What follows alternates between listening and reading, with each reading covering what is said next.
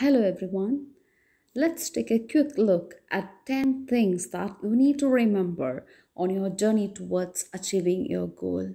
The first and the foremost thing that you need to remember is where focus goes, energy flows. So focus on what you want. Do not focus on things that you don't want. Keep focusing on things that you really want in your life. You can be anything if you just decide it. So please decide today itself now who do you want to be? What kind of life do you want to live? You choose. It's your choice. You choose your destiny. You choose to become a success. You choose to succeed in your life. So choose now. Choose wisely.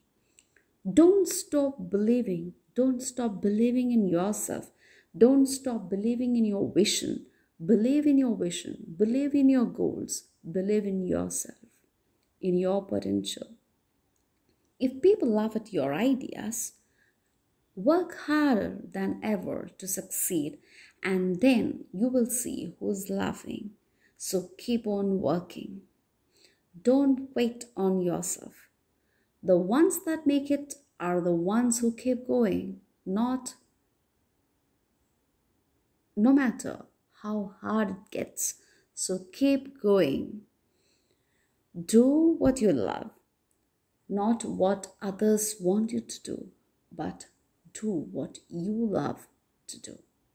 Running a business, doing a job, studying something, it's not very easy. It's a full time commitment. You should be committed to your goals. Every day you waste is a day you will never be able to get back. So don't waste even an hour in your life. You cannot, you can never ever claim that hour back. Engage in consistent action. Take a step towards your goal every single day in your life. And finally, you must have patience because success won't happen overnight. So be patient enough and work harder with consistency, with happiness. Do what you love. Have a good day.